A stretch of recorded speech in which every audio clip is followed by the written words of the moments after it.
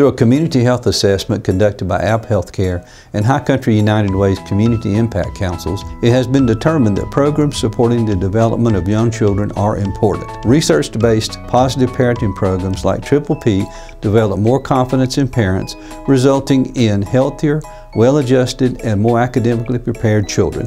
Visit highcountrypositiveparenting.com for more information.